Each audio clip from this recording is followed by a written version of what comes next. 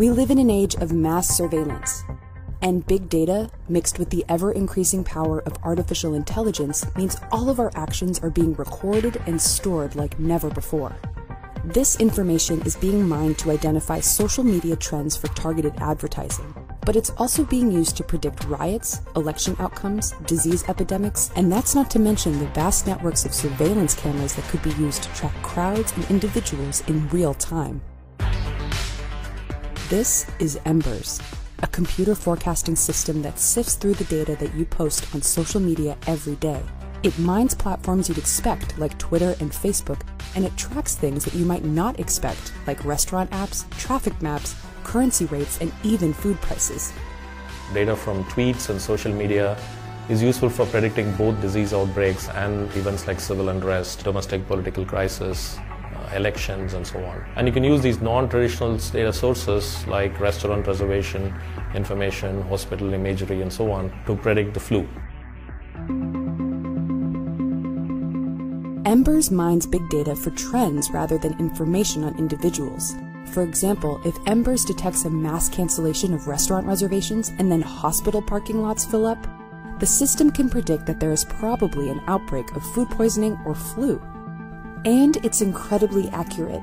Embers correctly predicted hantavirus outbreaks in Argentina and Chile in 2013, and political uprisings in Brazil and Venezuela in 2013 and 2014. In fact, Embers is correct in its predictions about 90% of the time.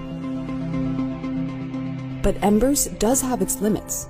While it can mine public data to forecast major social events before they happen, it can't predict spontaneous events, like crowd stampedes or terrorists, an increasing concern in an overcrowded and unstable world. Which is what Dr. Mubarak Shah and his team are trying to do.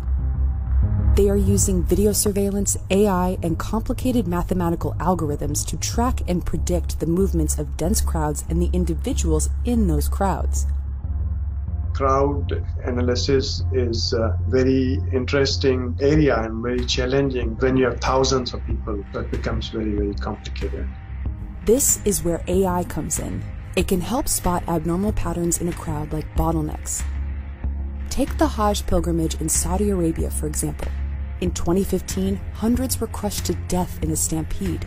In the future, computers may be able to detect bottlenecks in real time, and pilgrims can be diverted to uncrowded areas, thus avoiding stampedes and ultimately saving lives. Another application Shah's team is working on is to track individuals in crowds in real time.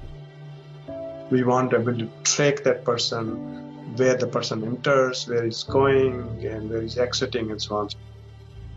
This kind of surveillance is done manually, but computers are beginning to be able to detect individuals acting suspiciously as they move through a crowd. We want to be able to analyze the video in each camera. We detect people, we track, and we identify, and so on.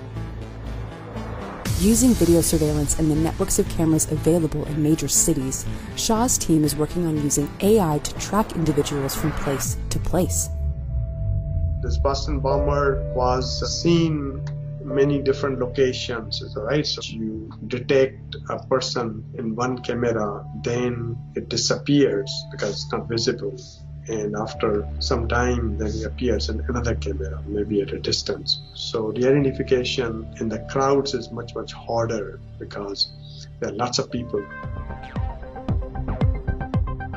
camera networks data mined for suspicious behavior could stop future bombings but it isn't easy and they aren't there yet there is so much data that needs to be annotated so that machines can understand human behavior it can help law enforcement, they can make them more efficient, and it can help solve crime.